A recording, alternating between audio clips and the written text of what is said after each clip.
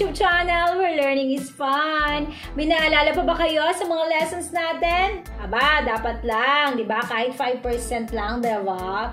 O syempre, kung gusto niyo na may maalala kayo at gusto niyo pa ng panibagong kalaman ay mag-subscribe na kayo sa channel ko and hit the notification bell for more of my upcoming videos. Sa nakaraang video natin ay tinalakay natin 29 principles ng Yogyakarta. At bonggang tsura ko doon, Howard na Haggard, na stress kasi ang dami. Pero carry lang. Ngayon naman sa ating week 8 ay tatalakay natin ang gender and development.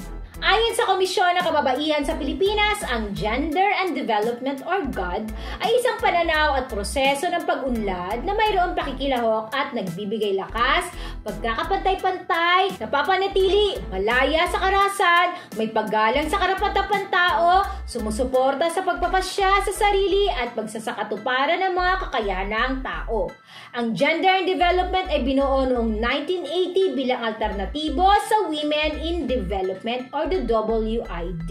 Hindi tulad ng WID, ang God ay hindi partikular na para lamang sa mga kababaihan.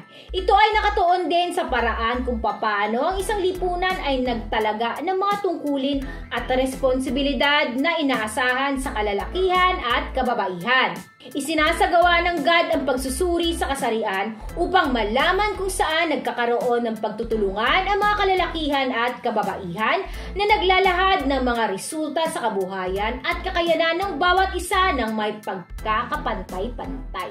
Ang pangunahing focus ng God ay ang dalawang mahalagang balangkas nito, ang gender roles at social relations analysis. Ang gender roles ay nakatuon sa pagbuo ng mga pagkakilanlan sa lipunan at ang pagiging patas ng lalaki at babae sa pagkukuna ng pangkabuhayan. Ang social relations analysis naman ay nakatuon sa pag-aaral ng panlipunang katayuan ng kalalakihan at kababaihan sa lipunan. Ninanais ng God na ang mga kababaihan ay may kaparehong pagkakataong tulad ng kalalakihan, kabilang narito ang kakayahang lumahok sa pampublikong sektor.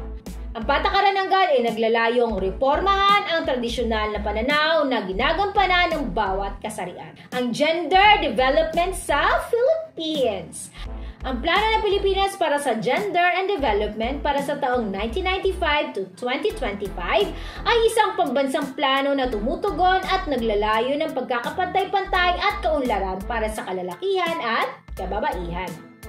Inaprubahan at pinagtibay ito ng dating Pangulong Fidel V. Ramos bilang Executive Order No. 273 noong September 8, 1995. Ito ang kahalili ng Philippine Development Plan para sa kababaihan 1989 to 1992 na pinagtibay ng Executive Order No. 348 noong February 17, 1989. Ang gobyerno ay naglaan ng 5% ng budget para sa iba't ibang ahensya nito. Mm, now we know ha. Ito ay upang higit na mapagbuti ang mga pulisiya at patakaran ukol sa pagpapaunlad ng kasarian.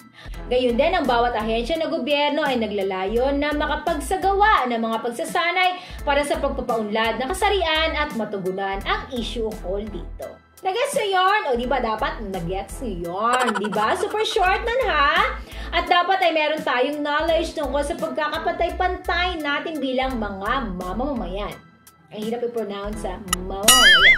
At sana may natutunan kayo ngayon mga kael. At dito na kayo sa mga vlogs si Lady El, mga vlogs sa may kalukuhan. Ayan, may placement pa. Subalit, makabuluhan. With this, just a thought from Lady El. See you sa next topic natin.